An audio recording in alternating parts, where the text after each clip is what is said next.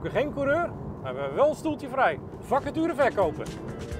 Serieus, vorige week hadden we een hele mooie McLaren staan. McLaren 75S. Nu niet meer. Nee, hij is weg. We zoeken wel iemand die echt gewoon ook die passie heeft voor auto's. En uh, ons team uh, daarin wil uh, versterken. Naar, naar de koffie. Er worden wekelijks 25 tot 30 auto's verkocht bij een gemiddelde week. De prijsklasse ongeveer ja, tussen de 10 en de 200.000 euro. Dus ja, voor ieder zit er wel wat bij. Gewoon de sfeer onderling is goed. En dan gewoon lekker met z'n allen verkopen, knallen. Je krijgt goede collega's, leuke, gezellige collega's.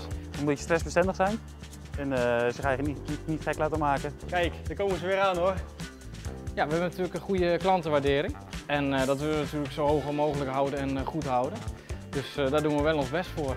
Ik zeg natuurlijk wel dat hier hard wordt gewerkt, ja. Zeker. Krijg goed betaald, dat is ook belangrijk. En het administratieve gedeelte, dat doe ik. Dat is wat we doen. wedstrijdje, wedstrijdje streepjes zetten. Je doet het gewoon echt samen. En het is gewoon een onderlinge competitie die je doet om er wat moois van te maken. Word jij onze nieuwe collega? Loop binnen, bel, app, alles is mogelijk. Je bent meer dan welkom.